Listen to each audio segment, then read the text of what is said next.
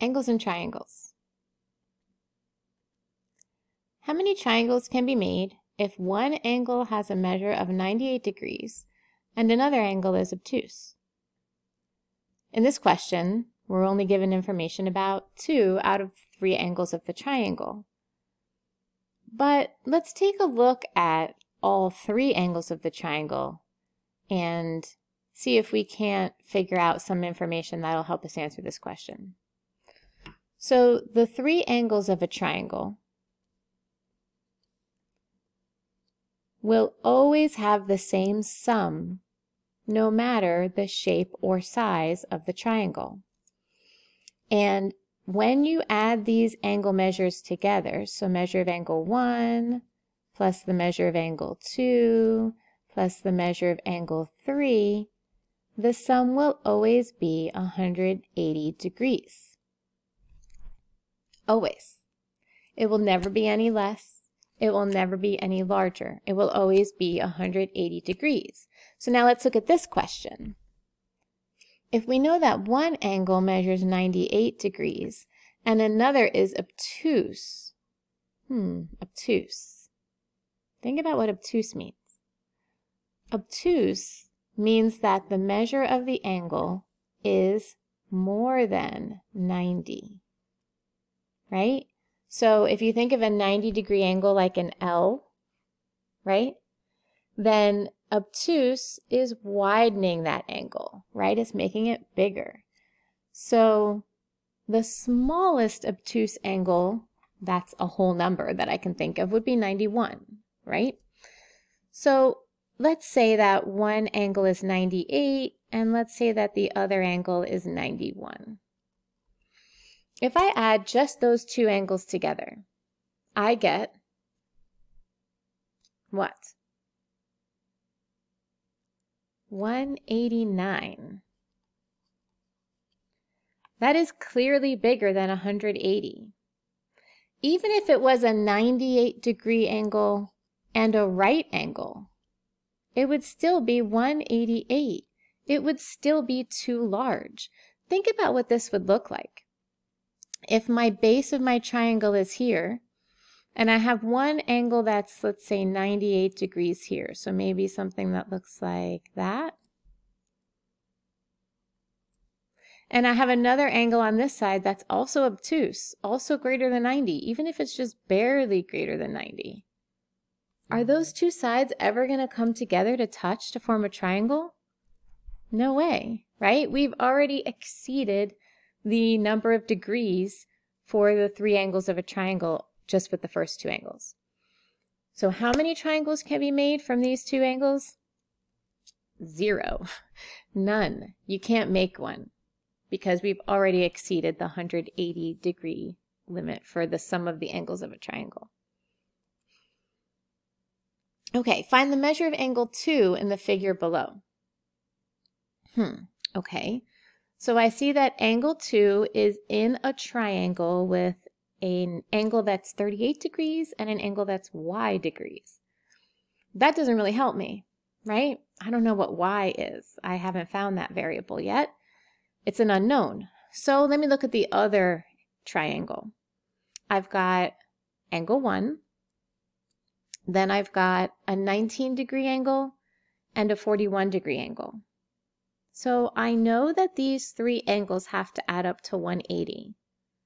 So if I add the two angles that I've got, 19 plus 41, 19 plus 41 gives me 60, right? And I know that the three angles have to add up to be 180. So I know that the angles that I've got plus the angle that I'm missing, let's put measure angle 1, is equal to 180 degrees. So to find the measure of angle 1, I'm going to do 180 minus 60. So the measure of angle 1 is 120 degrees. But I'm not asked for the measure of angle 1, am I? I'm asked for the measure of angle 2. Now, angle 1 and angle 2 are a special pair of angles. These two angles are called vertical angles. And you can kind of remember that name because when two lines cross, you get a V this way and a V that way, and V for vertical. So angle 1 and angle 2 are vertical angles. That means that they're always congruent. So if angle 1 is 120 degrees, then dun, dun, dun, dun, so is angle 2. And then we're done with that one. All right, so we used two properties here. We used the fact that all three angles add up to 180 in a triangle. And we also used the property that vertical angles are congruent. Can a triangle be formed with, a, with side lengths of 6 inches, 8 inches, and 13 inches? Okay, so let's experiment for just a minute here. Let's say this is the base of my triangle, right? And I have this side is going to be one of the other sides of the triangle, and this is going to be one of the other sides of the triangle. I'm going to attach this side right here, and I'm going to attach this side right here, and then I'm going to open them up to open up into my triangle. But you can probably picture what that's going to look like. Right? These two little short sides are going to come up, but they're not long enough to connect. Right? So if the two sides, the two shorter sides added together, right, their length together is still shorter than the third side, we can't make a triangle. What if they're equal. So what if I make this one longer and I make this one longer? And now when I add up the other two sides, now it's the same as the third side. Okay, so that looks better. But now when I start to open those sides up and to form a triangle, they're not going to touch at the top, right? I can't get a triangle from that. So even if the sum of the two smaller sides is equal to the third side, it's still not going to give you a triangle.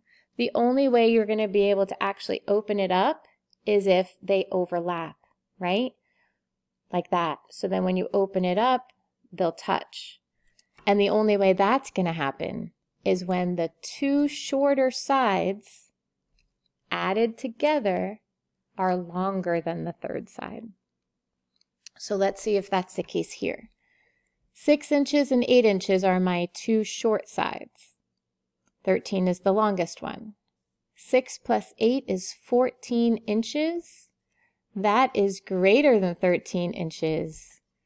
So yes, I can form a triangle with these given side lengths because the two smaller side lengths have a sum that's larger than the third side. All right, it's my favorite type of problem. So in the figure below, angles x and y are vertical angles. We know what that means. Angle x forms a straight line with the 50 and 65 degree angles. Okay, let's talk about what that means. Angle x forms a straight line with the 50 and 65 degree angles. So we've got, this is a straight line. How many degrees is a straight line? 180, right, 180 degrees. Write and solve an equation to determine the value of angle y. Now, from the beginning, x and y are vertical angles. So we know that that means whatever x is, y equals the same thing, right? That's step number one. We know that x and y equal the same number, the same angle measure. So whatever equation I can write with x, I could also write it with y instead. So I know that these three angles where I drew this little blue arc, they're all equal when I add them up to 180 because when I put them together, I get a straight line. So I can write an equation. 65 plus 50 plus x must equal 180 right? Because those three angles, we were told, form a straight line, which means they add up to 180. Now, we also know that x is equal to y. So if I need an equation to find the value of y, I could change this to 65 plus 50 plus y equals 180. Right? Same thing. They're equivalent, so I can replace one with the other. It's called substitution. So now I combine like terms. 65 plus 50 gives me 115.